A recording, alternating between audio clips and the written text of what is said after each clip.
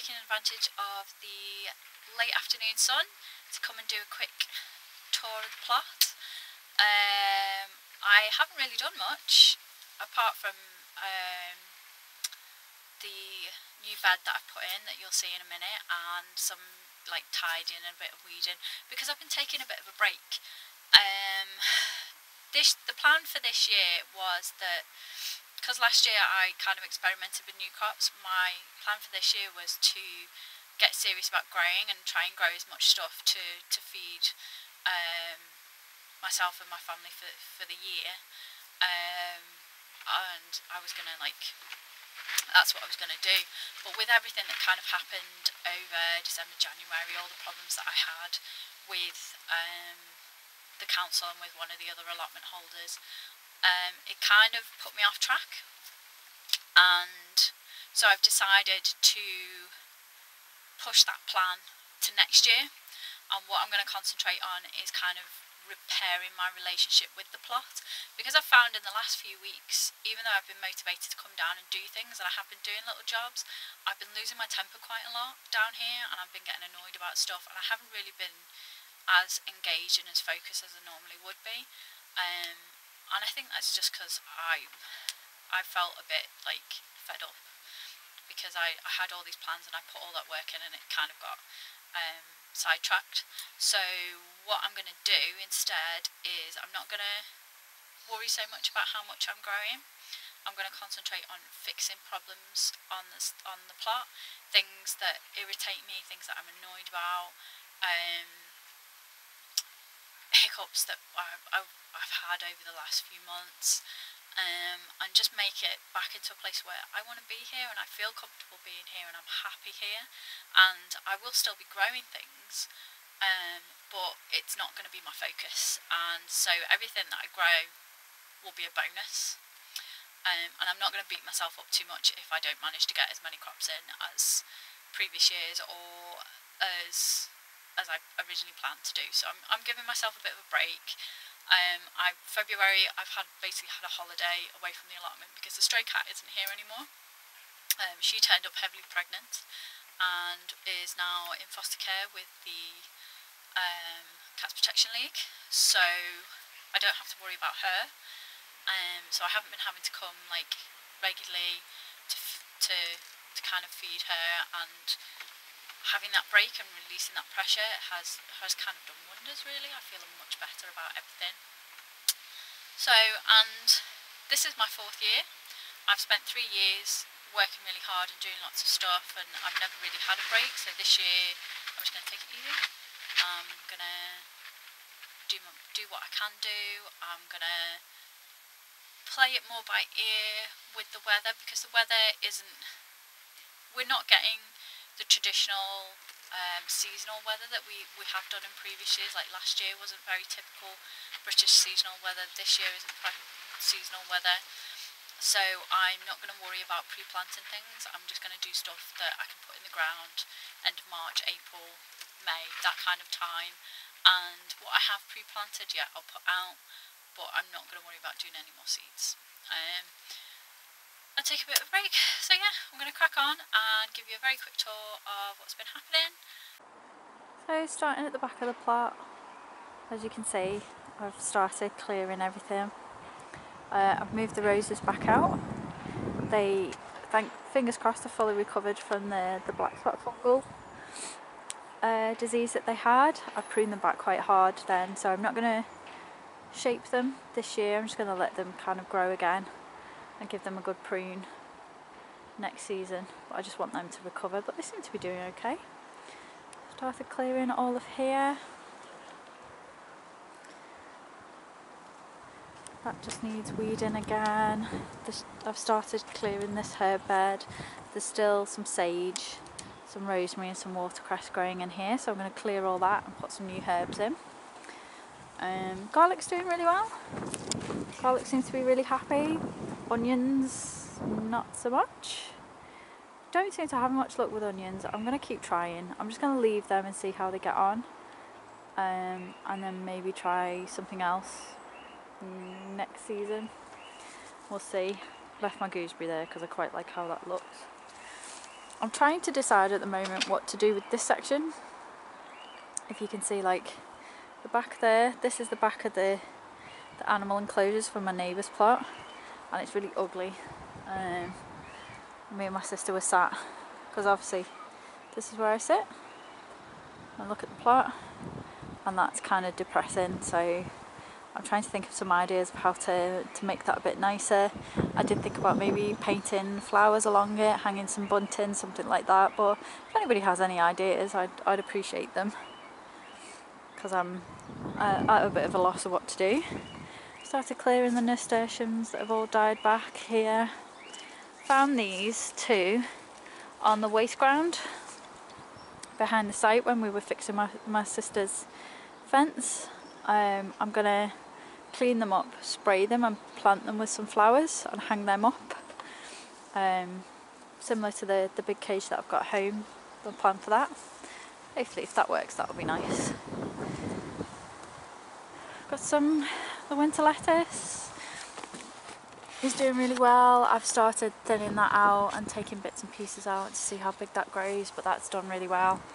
Um, that's empty the gale force wind that we had because originally I did plant up a load of seeds the other week and then the wind um, shifted the greenhouse and all the seeds ended up on the floor so that's currently empty um, and I don't have I only have like I managed to save like a handful of seeds that I'll show you in a minute which annoyed me a little bit but we have a plan to maybe build a more solid greenhouse in this section here but it's something I'm researching something kind of based on a, um, a um, a sunken greenhouse, but we're just trying to work out what we can do and how we can make that an actual possibility at the moment. So we'll see, we'll see. We've still got some, see all the seeds from the stations here. Still got some chard and stuff growing here. Um, this is like the last of it from what I planted. Um, I've still been giving it to the rabbits and pulling it out. No more stray cat. Stray cat is gone. She turned up heavily pregnant, so the Cats Protection uh, took her into foster. She apparently had four kittens um, a week or so ago, so there's been no stray cat. But I'm thinking about the possibility of maybe getting some quail. We'll see. So I started clearing all the pots for the carrots. These are my carrot pots, so I've got to um, sieve that compost uh, at some point, but it's not a job I have to do yet. Started clearing all these.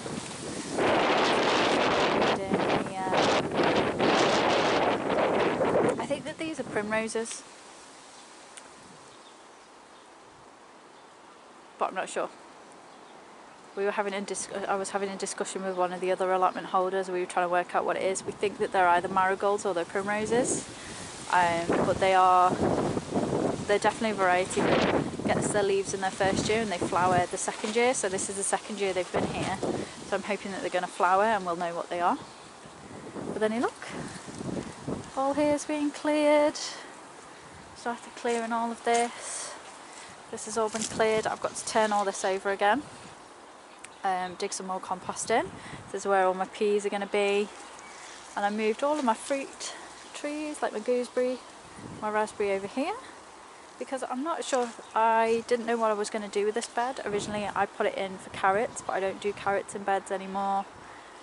Um, I'm not doing as many potatoes so I don't need to use the big beds for potatoes this year. I can just use the, the towers. So I decided to put all the fruit trees in it. And they seem to be happy, they're growing so that might work out. That may be where they live now which is good. Strawberries. This is the second year for these strawberry plants. Um, so I should get a good crop. I've got at least another year out of these. Um, and they're starting to grow so I'm excited to see where we get strawberries from that this has all been cleared and I'm going to show you the biggest change Ta-da! No more doghouse. So after the, the video that I filmed the other day where we demolished the duck house, um, we came back uh, a couple of days later did a massive tip run, got rid of all of the, the rubbish that was left. Anything that I wanted to keep is kind of like stashed behind there. like if it didn't fit behind there, then it went. And what I've, we've, I've done is this is now uh, a raised bed area. Uh, this is a bed area. Dug in all of the the duck bed in, the chicken bed in. Uh, I brought some stuff from home, dug it in. Um, all the extra compost that I had, some compost from my compost bin, the grow bags, that's all got dug into this area, all got um, forked and turned over and weeded. Um, and it only goes to, because of the tree roots, it's dug back to about here, there, and I'm possibly either going to put some hedge in or um, some of the some buckets and things here with stuff in but this section here the plan is to put sweet corn um, squash and pumpkin and possibly some courgette as well and in this the fruit cage will be beans um, so I can grow them in the ground but the birds can't steal all, all my beans off there. I just have to repair the, the net in a little bit because my father-in-law put his foot through it so I've just got to fix that. Um, what I've put here, this is my, my witchy herb garden that I've started and I've got a few varieties of hay, sage, so I've got tricolour sage, uh, common broadleaf sage, what's this one? This purple sage, I've got some uh, common upright rosemary which grows really tall and then I've got the prostrate, prostrate rosemary which has these lovely blue flowers that comes through. I've also got Chinese lantern planted there. This is parsley that was in the greenhouse here and this is the mint that was in the hanging baskets that were hung on the duck house in there. I've reused the, the chickens um, bathing sink. This is like an old Belfast sink um, and I've reused it for the mint so the mint doesn't end up everywhere. With me is I've got this huge space here to play with as well and as you can see the this mini herb wheelbarrow that I've got there is starting to grow back now I can finally get to it there's a few bits and pieces here uh, there's marjoram some types of mint and this is a curry plant that needs cutting back. But the Chilean rhubarb is starting to grow. That's starting to come back. And all of, see the old leaves, this is last season's leaves. That's all mulched down now, so that will just grow up and protect the roots. Pond is coming back to life. I've left all this stuff on the top of the pond because it's heron season. So I I wanted to protect my fish a little bit because I took the net off because uh, the net was making it hard to keep the pond clean so I took that off but I've left that on to protect the goldfish and they're still there, they're still quite happy. a few frogs have been had by the herons but the fish seem to be okay. Oh. It's not facing the right direction, that's north that way. So I've started clearing the fairy garden just to get it ready to start putting things in. I've still I've put a few more a few of the plants out. Added some more bits of rocks and things that I found. Um it's the other Chilean rhubarb coming through. Like everything's starting to come back to life. The tree's starting to come back to life. Got some bulbs and things growing here. Coming through. Um, got a new rose bush um, because my guinea pigs are now buried here. They passed away, so they, I brought them here and I put a, a rose bush on to, to, for them. And yeah, everything's starting to grow, come back to life. Down here, everything's kind of coming back to life. The trees have got buds on, um, stuff like that. In the polytunnel, there's a few bits Actually, I'm going to go in here. show you. Had a bit of rain. Bit of flooding. So it's a bit chaotic in here at the moment because I've been moving things around and um, trying to sort through stuff. But I have some things that I have. This is what I managed to rescue Um, so we've got the peas, um, leeks, some tomato plants, um, sweet peas. Uh, what's this one? These are onion seedlings, um, and everything else just got trashed. Um, but I've got all my seed trays and stuff in here. This, uh, all my bamboo canes and things. This needs a proper sort out. The tree's starting to come back to life. But we'll see. I'm gonna if the weather is okay in the next couple of weeks, I'm gonna put these out. I'm gonna plant them outside because this is quite open. Um, I've found that I don't need to harden off the plants that are in here because they kind of it's not like a proper greenhouse anymore. It doesn't radiate that kind of heat. So um, by having them here by the door, they're hard enough that next week I can kind of put them out and see how they grow. So that's good. Some box hedging there. I bought, let me just do So I, um, yeah, so I've got some box hedge in there. I picked that up from Homebase.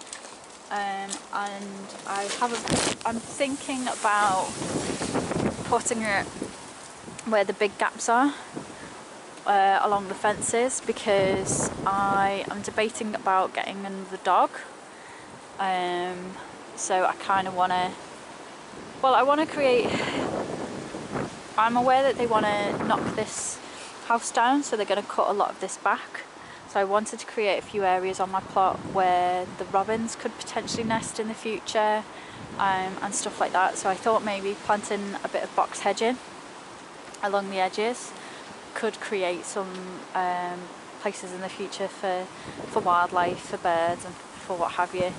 Um, so that's kind of my plan at the moment, what I'm going to do.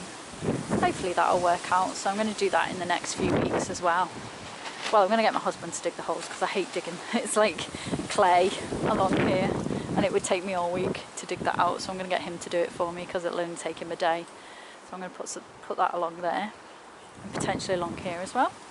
But yeah, um, everything's kind of, if the plot feels a lot different, having that gone and having like a proper growing space. I've shortened the, had to shorten the archways a little bit because the bottoms broke, but that's kind of cool.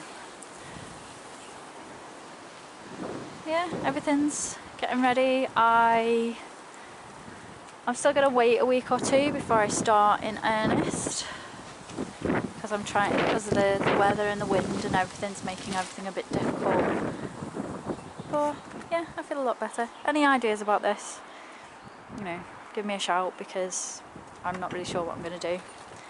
But yeah, back to the shed. So that's March. Um, as you can see, not much going on.